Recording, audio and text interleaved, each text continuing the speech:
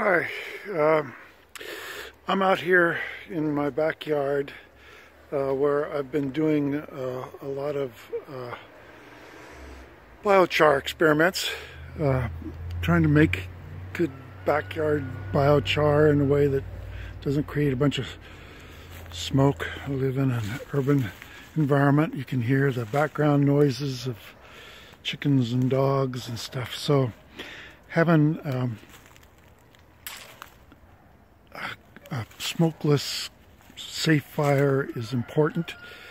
Um, and I'm trying to get, uh, come up with a system that actually works well for people who don't have anything.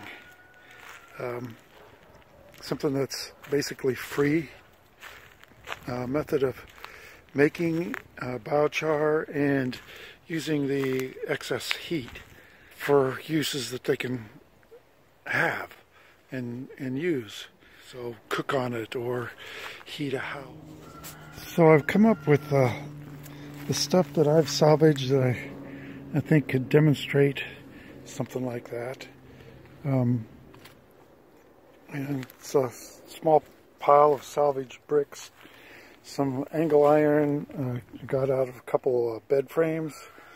A friend gave me uh, this uh, ceramic flue um, and then these cement block. The idea and the goal is to create something that is free to make, that is highly efficient in making biochar, and uh, that heat which escapes the process is usable.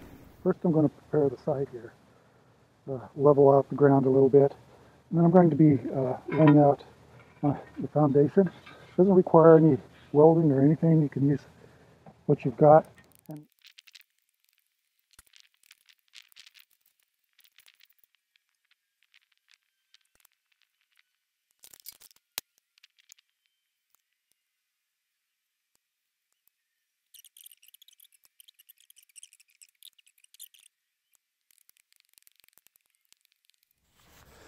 So I want this uh, this channel, this is uh, the fuel channel and air come in here.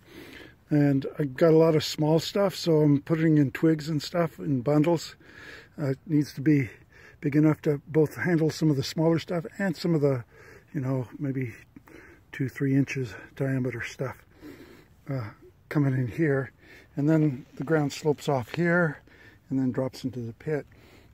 I'm hoping to fill this pit with char to about here. Um, we'll see. Um, and then on this side, it's the uh, gases, uh, burnt gases will go out here.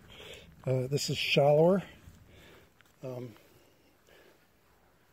but I, I wanted to keep it so that the heat is focused here and then the exhaust up here.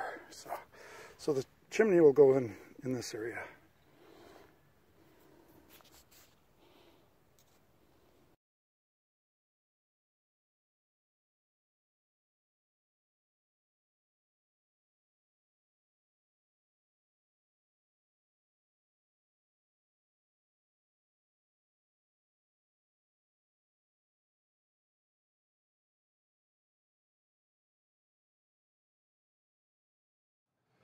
So as you can see now, I've kind of laid out uh, the structure. You can see it's pretty sloppy.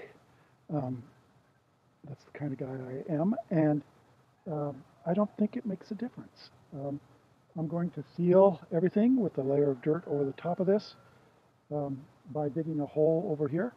My next one, uh, the char that uh, I hope to make will stay in the hole. Uh, we'll just cover it. Um, probably add compost tea, some urine and uh, stuff, and just uh, leave it and come back and check it.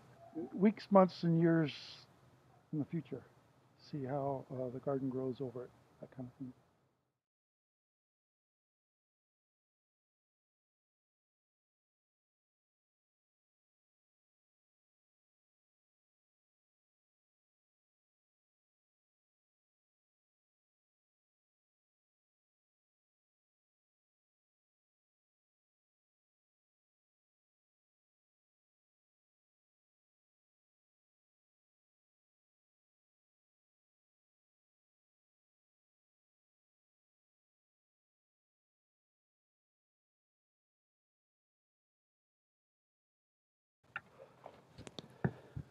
So you have that. You can see I just uh, mounted it up, and so it looks like a an oven, a sort of a uh, French baking oven. Instead of bread, we're baking biochar, and it should be sealed. I, I figured uh, I could uh, take mud and plaster the outside, make it maybe seal a little bit better, but uh, we'll see how this works first. It's all an experiment. I have no idea how it's going to turn out. Now, maybe you noticed, or maybe you didn't, that I didn't cover this stone. And that's because my idea is that we'll start with two fires. One will be here, uh, and it's right on the edge of the, the fuel chute, and then it drops off right here. So we'll start a fire there, and we'll start a, a flue fire here to start developing draw. Once we get the draw going, the fire, the heat, the flames being sucked underneath, um, we'll get those embers pushed into the pit, and the main chamber of the fire then will be the pit eventually as things warm up. Now this is damp soil. It's rainy season. It hasn't rained for a while, so it's, it's not saturated, but uh, it's really damp. So there's going to be a lot of uh, moisture that's going to be probably coming off of this um, and down in the pit uh, before it really starts heating up.